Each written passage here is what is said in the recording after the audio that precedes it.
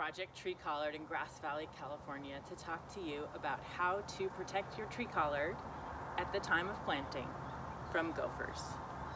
So one wonderful intervention, it doesn't take too long and it's not too complicated and doesn't have too many materials that you need to build your own gopher cage. They sell these commercially and they're very expensive. So if you're planting a bunch of tree collards and trying to get a food forest going and you have gophers, it's gonna really get very expensive very quickly at a large cost. I think something like six or even seven dollars onto each plant and all you need is some inexpensive chicken wire um, some kind of wire cutter I really like these tin snips for a lot of different farm projects gloves and a tape measure so I'm going to show you how to make a wire basket to protect the root ball of your tree collard. Your tree collard may be very small when you get it and are planting it, but over time it's going to have a very large root ball and you want to protect that main root ball of your plant so that later in time when the gophers come and they start nibbling they're just going to get some of the side roots they're not going to get the heart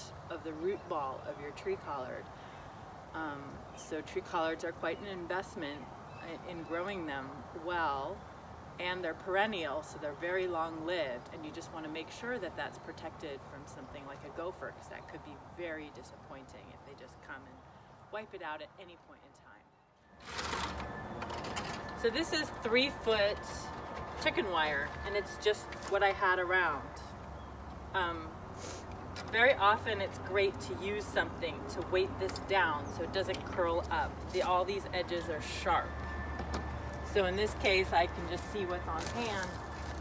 The pile of old wood here. I'm gonna use some of that to weight this down while I'm cutting.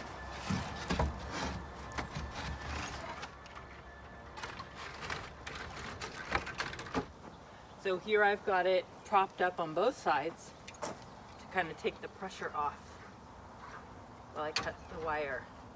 I find these cut best one at a time.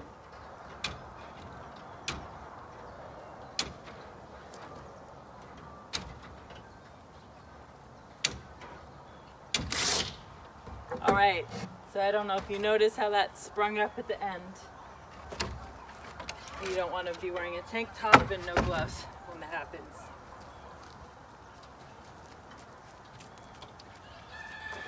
So I'm trying to do a close-up here of the, the honeycombs and how I have wire sticking out on the edges that I can bend in on itself. Now, for me, the next step is gonna be cutting this in half. So I'm gonna get two baskets out of my three foot chicken wire. So again, I'm going to measure and half of three feet is one and a half feet, 18 inches. And again, this is approximate. It's not like the roots are gonna say, hey, we, we won't be okay with a 16 inch basket or, you know, they're gonna be grateful to be protected from any gopher. So these are the halves.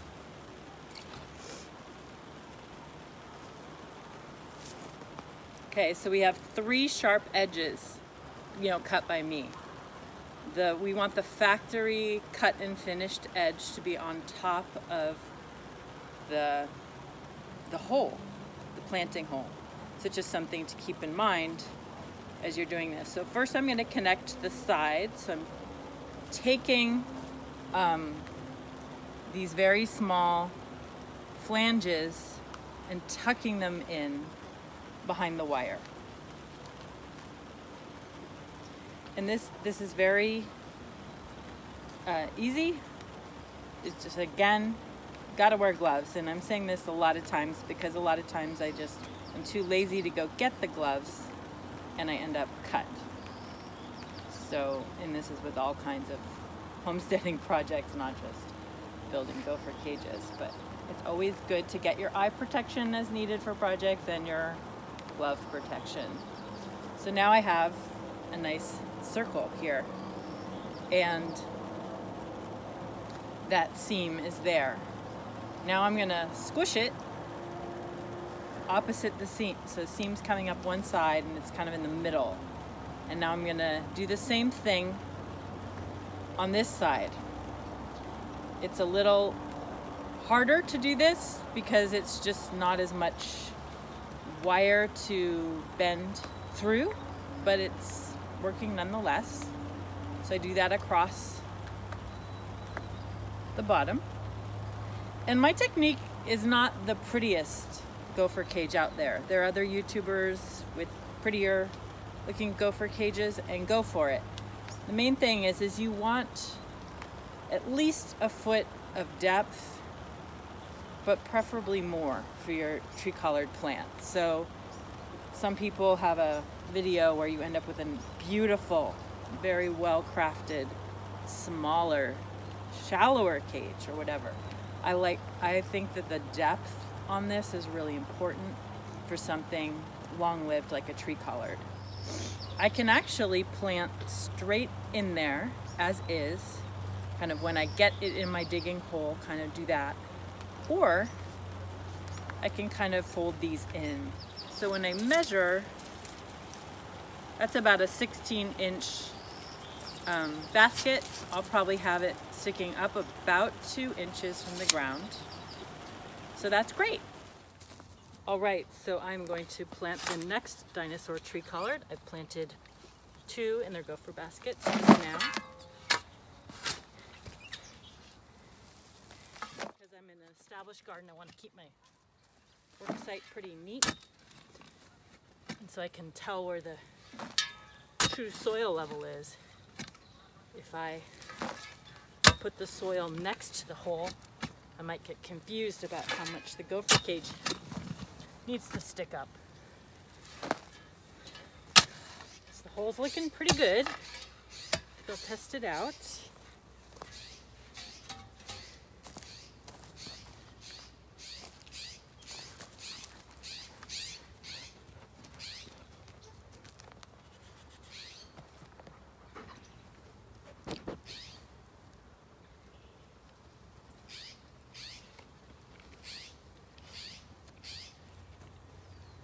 So that's sticking up about two inches, which is just about perfect. Here we have a very high level of magnesium in the soil and a deficiency of calcium. So I'm gonna mix some gypsum, which is one of the more readily available forms of calcium, into these containers of soil. Just hoping it gets mixed in throughout, but I might have to add some more. I'm gonna go ahead and take these. They're a bit heavy at first, but try to direct it slowly. And you don't wanna just fill the outside first like I am. You wanna get it on the inside so that your cage doesn't collapse. And the dirt does move freely in and out of those honeycombs. The brassica family, when you eat them, they're very high in calcium. And that's because they pull it out of the soil. So you really need to replenish your soils unless you live in a place that has naturally a really great ratio of magnesium and calcium. And then you don't need to amend with those.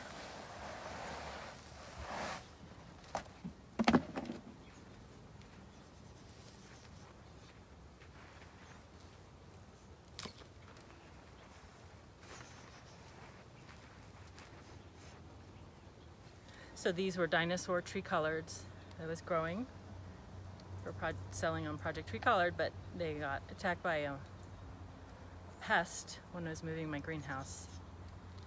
They just didn't look that great because they got a lot of damage from the pest and holes in the leaves. I decided to plant them here. So I'm peeling back the paper, pulp paper pot that they came in. And there's the roots and I'm going to keep the soil level the same. So what it was in the container is what it will be in the ground. You don't want to bury it deeper or you don't want to have it sticking up and exposed. And there you have it. So uh, I will be doing drip irrigation or T-tape here. And then after that, I will be mulching the soil with straw, rice straw. And you won't see the gopher cage at all at that point. But if the gopher is digging, let's say here, and unable to get in the cage to get to the plant's roots, it may come up over the top and this sticking up a bit. This one maybe not quite sticking up enough, but you want about two inches. I hope you enjoyed this video and feel more confident in planting your tree collards when you have gophers around like I do. And for more information, you can go to projecttreecollard.org where we, where we sell plants and cuttings and seeds and we're actively breeding new varieties and trying things out over the years before we can offer them to the public. And please hit the subscribe button. It encourages me to make more videos and share more information with you folks. Thanks for watching.